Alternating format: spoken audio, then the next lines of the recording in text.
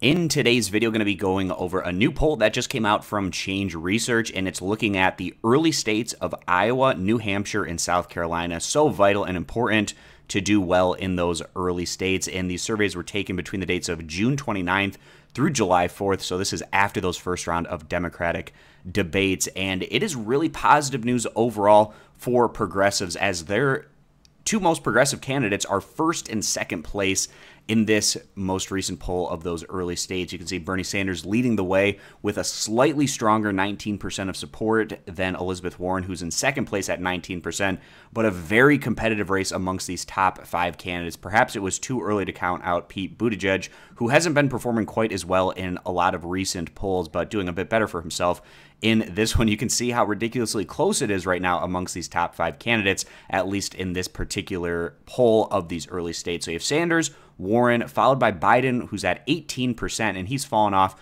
quite a bit in recent weeks after a very weak debate performance from him. Kamala Harris has taken a big step forward. She's in here with 17% support, and Pete Buttigieg at 15 percentage points. And we can see the candidates that had the biggest movements, either positively or negatively, with their unfavorable numbers are listed below here. We have Kamala Harris, who went from 57 to 8 unfavorable, 57 favorable, to 69 favorable, to 8 unfavorable. And that again has to do with a strong debate performance along with Elizabeth Warren, who was 65% favorable, 13 unfavorable.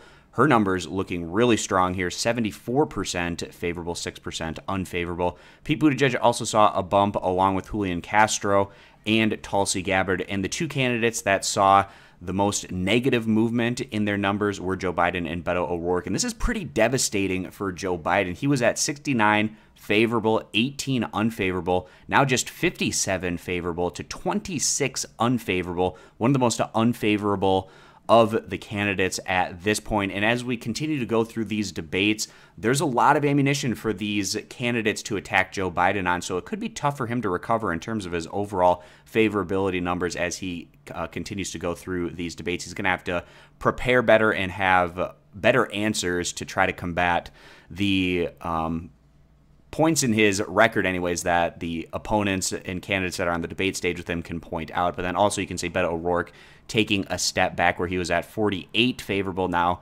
down to 38 favorable. And Bernie Sanders isn't in here, and I assume that's because his favorable, unfavorable numbers are relatively unchanged from where they were. And now I want to go over and take a look specifically at how those three early states are playing out. And if you're interested in looking at all this data for yourself, I'll have it linked down in the video description. I'm just pointing out a few of the questions here or there, maybe some of the more interesting data points. So going over here, taking a look at these early states. So we have Iowa, which is the first state, and Pete Buttigieg doing extremely well, leading the way, 25% support. Elizabeth Warren at 18, Bernie Sanders at 16, as well as Joe Biden, also there at 16, along with Kamala Harris. And you have to get at least 15% support to be part of the candidates that divvy up those pledged delegates. So all these candidates actually in this scenario are cracking that 15 percentage point, which would be probably a bit surprising on caucus night if you had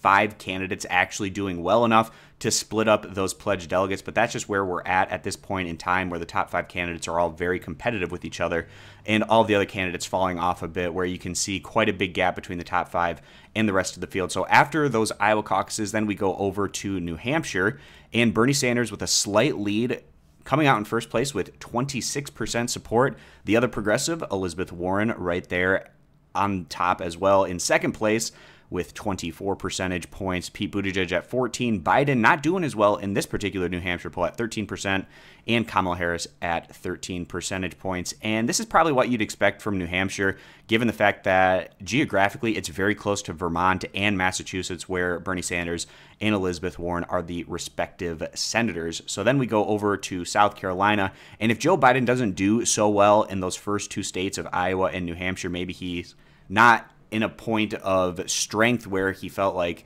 at least early on in the process that he'd be doing quite well in these early states but for whatever reason if he's not able to have a whole lot of success many feel like going to South Carolina is a situation where he's likely to do very well he has a strong support amongst the African American voters but with Kamala Harris coming in and getting more name recognition and winning over a lot of these types of voters. Perhaps that digs in to what Biden um, has been at at the early point in this process. So he's still in first place in South Carolina in this change research poll at 27% support, Kamala Harris at 21%, Bernie Sanders at 16%, Elizabeth Warren at 15%, and then Pete Buttigieg not doing quite as well in South Carolina. And I feel like Buttigieg, of all these top five candidates, probably going to have the toughest pathway forward in terms of winning over African American votes, especially with the controversy and issue that he's had surrounding his police force in South Bend. So those are the numbers that we're looking at at this point in time, going back and taking a look at the combined numbers of these three early states. You have the two progressive candidates,